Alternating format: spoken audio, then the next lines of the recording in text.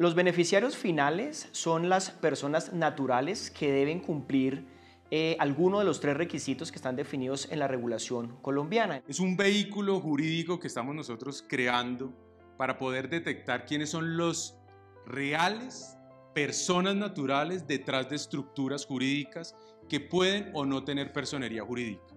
La identificación de los beneficiarios finales es sumamente importante porque para poder asegurar que haya integridad en los negocios, para poder uno tener la tranquilidad de que está haciendo negocios con la persona correcta, uno siempre tiene que saber quién está al otro lado de la mesa.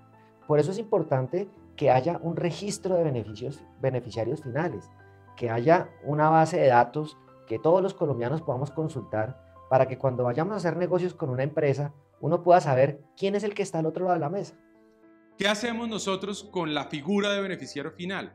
Desde el registro único tributario establecemos desde el principio quién es el beneficiario real de esa estructura, de, de esa persona jurídica o de ese contrato de agrupación empresarial. Para la implementación del registro de beneficiarios finales, lo primero que necesitamos es un marco jurídico. Se necesita una ley que le dé a algún organismo la facultad de recolectar esa información, que le imponga a los particulares la obligación de registrar a sus beneficiarios finales y que le dé a otro organismo la supervisión del cumplimiento de esa obligación. Eh, lo segundo que necesitamos es un marco institucional. Lo lógico es que fueran las cámaras de comercio, que son las encargadas de administrar los registros mercantiles, quienes llevaran a cabo la creación y el mantenimiento de esos registros de beneficiarios finales. ¿Qué buscamos con ese, esta política de beneficiario final?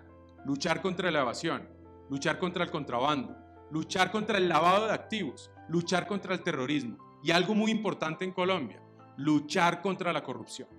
Vamos a poder conocer a través del registro único de beneficiario final quiénes son los que están contratando con el Estado.